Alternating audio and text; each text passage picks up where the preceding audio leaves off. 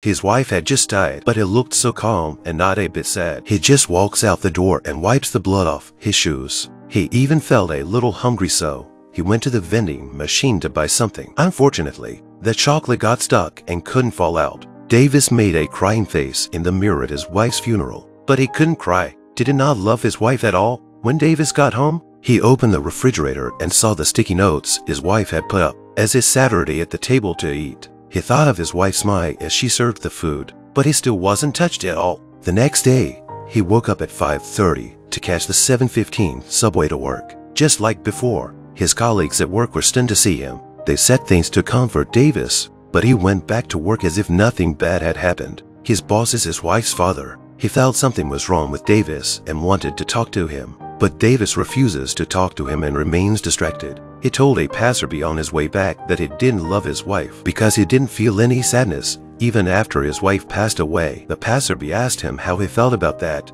Davis suddenly pulled down that emergency brake valve. Davis stopped the train and went to the police station. But what he did was unbelievable. His parents, who were comforting him, were going home. Davis dropped them off and spent half an hour at the airport watching people hauling their luggage and walking around in a hurry. It made him curious to start noticing everything around him. He opened the refrigerator at home again and noticed the water leak his wife had told him about. He also remembered that his wife said a toolbox, so he dug out the toolbox. His father-in-law once reassured him that if you want to fix something, you have to dismantle all the parts first and find the important points. In the end, he took the refrigerator apart, even the company bathroom door, and the office computer were dismantled by Davis. He became a monster in the eyes of everyone. He had no one to talk to and even wrote a letter of complaint to the vending machine company. His letter contained no insults, no reprimands, just the story of him and his wife. They met at a party. Julia is a kind person.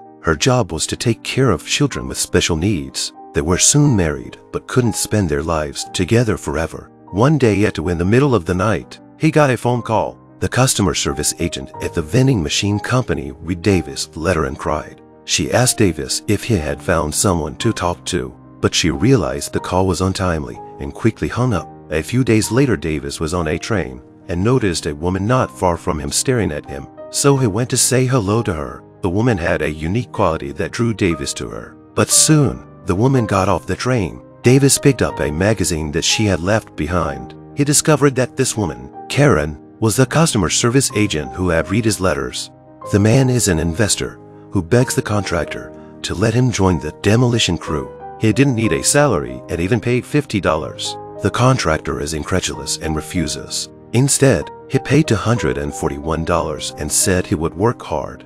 Finally, Davis was able to take a hammer and bang on the siding with abandon. He was working harder than the workers. The workers thought Davis, who paid to work, was the odd man out. Karen was amused when she read this part in his letter. A few days ago, Davis found out she was following him then he followed her back to her house. Karen's boyfriend was home at the time. Karen awkwardly asked her boyfriend to leave. Davis then gave Karen the letter he had just written. Just today he was suspended from his job because of his bizarre behavior. He spent his days at home with nothing to do. One night, Karen found Davis. Her boyfriend was away on business and thought she'd stop by and see him. She said Davis' house was county. Davis, however, said he hated the house Perhaps it was the absence of his wife that made him feel empty. Karen took Davis back to her house. They just lay in the same room on the beds and talked. They were more like soulmates. When Karen took Davis shopping, Davis saw a broken down carousel. It was strange that he wanted to fix it after all the stuff he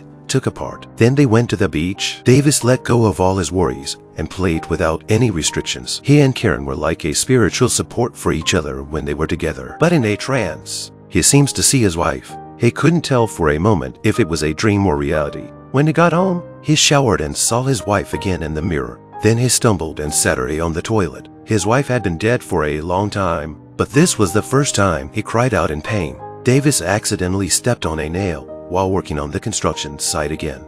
Oh, God damn, that fucking hurt!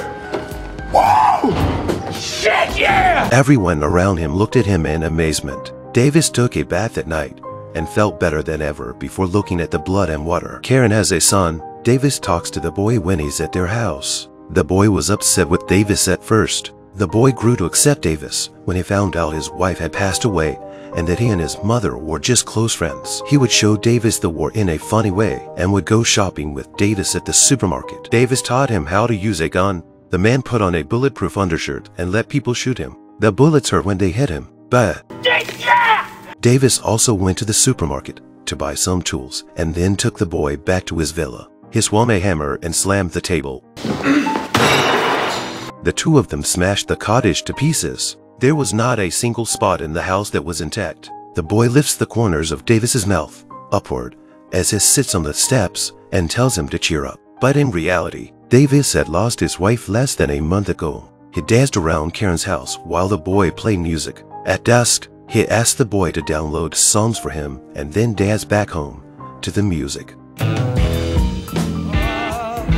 No one who saw him could have guessed that he had just lost his wife. A few days later, Davis hired a construction crew with a bulldozer to tear down the house. He went into the bedroom, the last undamaged part of the house. As he swung the hammer at the dresser, a piece of paper came floating down. It was a checklist for his wife's pregnancy from last year. Davis' hands trembled slightly because he had no idea she was pregnant last year. As he walks the boy home, the sun stings his eyes. Davis lowered his visor and saw a sticky note taped to the top of the visor. He rips it off in annoyance and tosses it aside. At night, Davis shaves off his beard. It's the first time he's been seriously dressed since his wife's funeral. Tonight is a reception his father-in-law is hosting in his wife's name. His father-in-law has put all of his wife's assets in a foundation to support deserving underprivileged students. His father-in-law was furious when he saw Davis with Karen.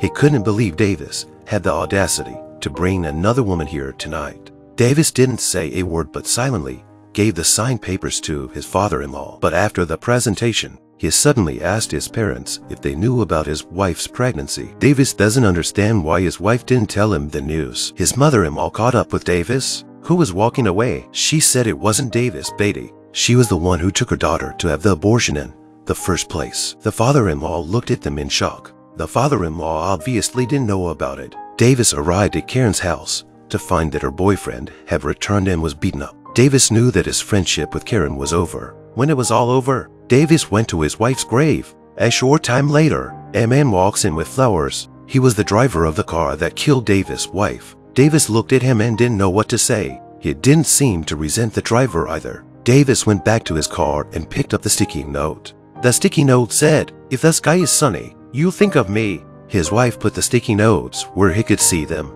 He suddenly smiled because he remembered the sticky note in the refrigerator, and he remembered the conversation he had with his wife before the accident. He remembered what the two of them had been through together. Davis smiled and laughed and shed tears. Then he found his father-in-law and offered to do something for his wife. He fixed the merry-go-round for the special children that his wife had cared for most. Right then and there, Davis had a real smile on his face. The film, Demolition, was released in 2015. Sometimes we are so sad that we can't cry. Does Davis love his wife? He sure did. When he loses her, he's a walking corpse. But when he knew his wife loved him too, he couldn't stop crying. At that moment, he was truly relieved. He also truly regretted and regretted that he had missed his wife. Although the love of his life had passed away, his broken life had to go on. We have all learned how to actually love someone.